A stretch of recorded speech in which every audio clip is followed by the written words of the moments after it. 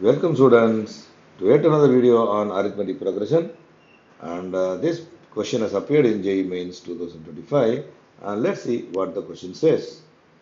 Uh, 2024 terms of an AP is given or we can say that AP consists of 2024 terms. And we are required to find the sum of all the terms of the AP and the data given is a1 plus certain terms given within the parenthesis plus a2024 that sums or that adds up to double two double three. So what formula we can use here? So many of you would have known this or some of you may not have known. Those who already know recollect it and those who don't know learn it. You can say sum of n term is equal to n by 2 into ax plus ay where ax and ay are two terms of AP which are equidistant from the respective ends of the AP and where x is the position of the term x and y is ay is and y is the position of the term ay and if you add x plus y that should be equal to n plus 1 if this condition is met then you can very well use the formula Sn is equal to n by 2 into ax plus ay so in this problem, for an example, I will say, see A1 plus A2024, obviously they are the first and the last terms, though they are equidistant and you can see the position, no, the A, uh, A1's position is number 1 and A2024 position is the last, that is 2024. Therefore, 1 plus 2024 is equal to 2025, which is equal to n plus 1. So, and therefore, it means we can group the terms which are equidistant.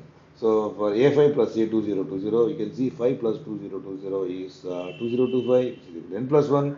Similarly, A10 and A2015, so on and so on, up to A1010 plus A1015. Therefore, all the terms given within the parenthesis can be grouped into terms which are equidistant from the respective end of the AP.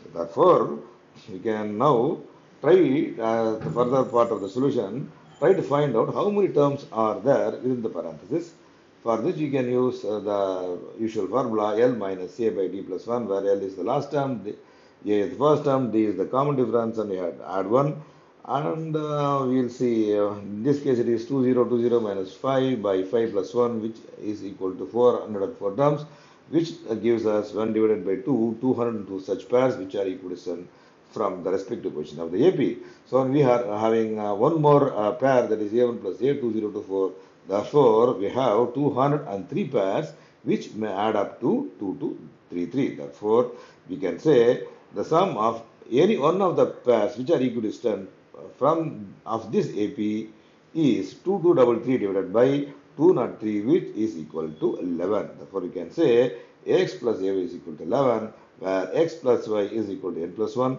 Therefore, we can use the formula now for finding out sum of uh, first 2024 terms which is equal to n by 2 into ax plus ay. We know ax plus ay is equal to 11. n is 2024. Therefore, the required answer is 2024 by 12 by 2 into 11 which is equal to 1012 into 11 which is equal to 11132. So, we have just finished the student and this is an important formula. Many of you would have uh, probably know, but you may not be knowing how to apply it or derive it. Rather, I can say n by 2 and a plus l itself has been derived from this only because see, a is the first term 1 and l is nth term. No? That is so 1 plus 1, 1 plus n is equal to n plus 1. So it's a obviously fantastic problem and uh, it deceives us but uh, try to practice more and more problems so that you can just uh, go to the root of what has been asked. And you can definitely score at least 99 percentile and above for sure in JEE mains. And of course in, um, you can do well in uh, JEE advanced as well. So practice well students, stay tuned, please do subscribe to this channel. And good day.